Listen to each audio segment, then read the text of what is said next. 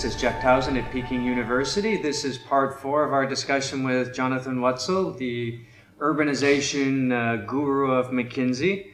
And in, in, the last couple of sections, we talked about real estate infrastructure. Uh, in this section, we want to talk about um, rural China, which is sort of often not something people think about a lot. But I guess the question to you is what is the role of rural China within urbanization uh, in the past and going forward? Well, it's changing. I think for many years, Jeff, uh, rural China was kind of the safety net. Uh, it's kind of where, where everybody came from, for, for, for one thing. I mean, though, um, I think uh, back in the beginning of China's economic reforms in the 70s, uh, I think the rural population was probably like 80% of the country. So uh, it was you know, literally you know, the, the, where, where everybody was from.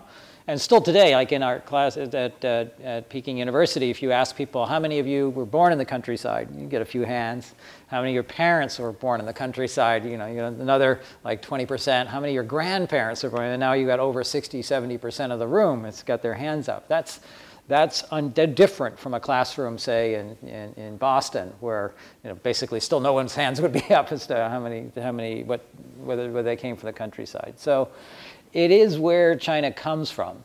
But it's changing now because it isn't where China's going. You know, it's clear that everybody is moving to the cities and we're going to this urban environment. So the role of the countryside and the role of rural areas is a little different. Uh, for one, it's going to be uh, about the food. And so where do we, how do we feed the cities? So the changing role of agriculture and the increasing productivity of agriculture is going to be a, a real, real issue. Um, and yet it's also still, you know, the source of a lot of Chinese culture, of Chinese you know, ways of thinking, uh, and that's going to be important to hang on to for China as we redefine what it means to be Chinese. For thousands of years, China hasn't been a village society where people basically lived in one small area and that's how they defined themselves. And even today, if you ask somebody in China, you know, uh, who are you? they'll say, you know, 我是安徽安徽人, or 我我是同乡人, I'm from this province, or I'm from this city. and that's how they define themselves, even though they're living in wherever, Shanghai or Beijing. But that's the village society. And of course, urbanization kind of just dumps all that out and rips it apart. And that uh, there's no longer a village, village gone. So they have to rethink what it means to be Chinese. Uh, and that is where rural society, and so these values, you're going to hear a lot about this, about, you know, who are we and how do we relate to each other as Chinese people. A lot of that's invested in the, uh, in the countryside. In the, in, so I think that's the importance of, this, of, of uh, rural society going forward. Um, but you know, China's countryside is, is, is vast. It has as much differences in the countryside as you find between the countryside and the city as well. So you can tell a lot of stories about it. in terms of this idea of, you know, China as a rural culture, at least historically, is that, to what degree do you think that's going to persist? Um, I mean, I, I think you said this well. To a large degree, the country has been defined by the fact that everyone was living in farms, far more than I, I think any country I can think of you know, even countries that are as large as China didn't have rural populations this large. Uh, how does that, I mean, can you point to a way maybe that's going to stay with the country as it becomes an urban country? Well, sure. Let's let's talk. We can talk a bit of history, but also one one parenthesis. I think India and China really interesting comparison here, and those are probably the two big environments where you talk about kind of what is the nature of that balance because there's a huge rural population in India too.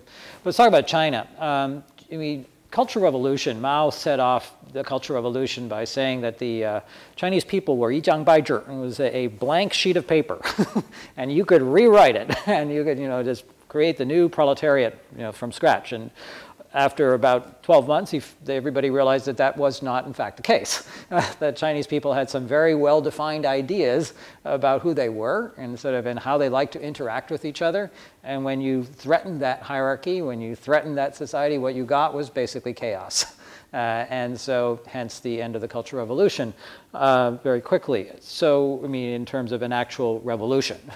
the, you know, so what was it? You know, what was that underlying template? Well, it is the things that go on in a village where you have to work together in order to survive. So the big difference I see between Chinese and Western culture is that in Western culture, typically the threat was the outsider, you know, was the invader, and that somebody would come and kill you, and so you had, therefore had to band together to defend yourself. You didn't really like each other, but you know, you would, you would get behind the walls and you'd fight off the invader. In the Chinese, that was not the problem. The problem was not the outsider. It was everybody inside. Too many people. China has too many people. So the question problem was really how do you work together? And so village societies were built off of how do we work together so that we don't all starve. Uh, and that was, so for example, in Guangdong, which is a rice-based culture, it was how do you use the water? Because if you need to have three crops a year, and you need to manage the water really carefully, because if you don't, you only get two, and then you starve. And so as a result, Malcolm Gladwell in his book says that it's provable that Chinese, that Guangdong peasant housewives are better at price negotiation and price sensitivity than any other housewife in the world. Because this has been thousands of years of figuring out how much money, how much water you could have. So their ability to calculate actually and hold a price in their head is much greater than, say, a housewife from northern China, where you basically would use one crop a year of potatoes.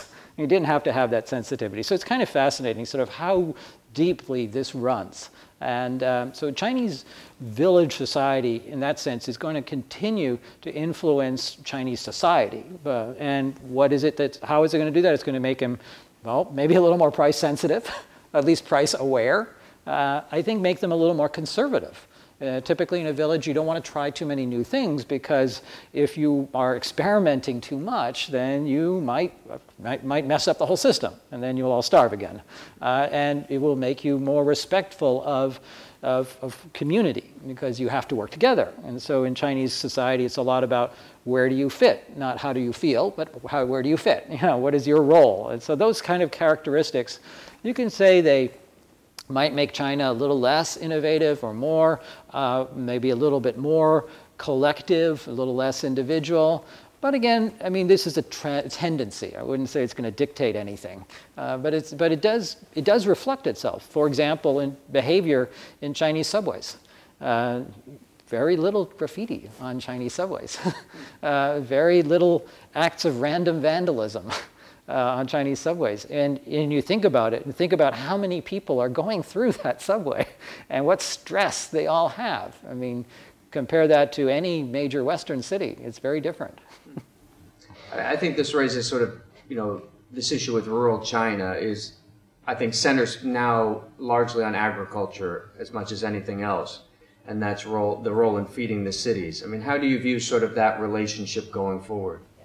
Um, really interesting question because the, the, I mean, the diet, first of all, is changing. I mean, China is becoming more protein intensive, which is the more energy intensive, uh, water intensive. So, I mean, the, the demand for the, uh, the product, if you will, is just getting that much higher.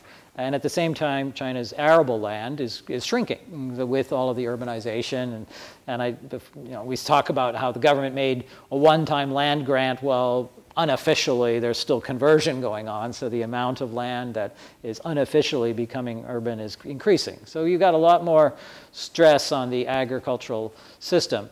But that just implies, wow, opportunities for innovation.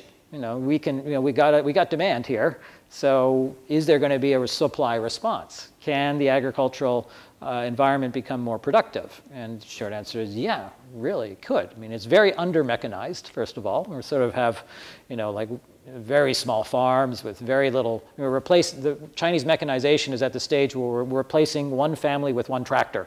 You know, we don't have any mega farms. so it's one family versus one tractor. That's, that's your choice. So that, uh, that's going to continue um, wrong kind of pesticides and fertilizers are being used. Uh, and then biotech is just taking off in an incredible way. So what we've seen, one of the hottest areas of venture capital investment today in China is in agriculture. You know, whether it's about creating you know, a new version of a blueberry or, uh, you know, or you know, accelerate organic farming uh, or lowering, lowering the cost to the farmer of their fertilizers or pesticides through precision farming, knowing what to plant, where to plant, how to plant.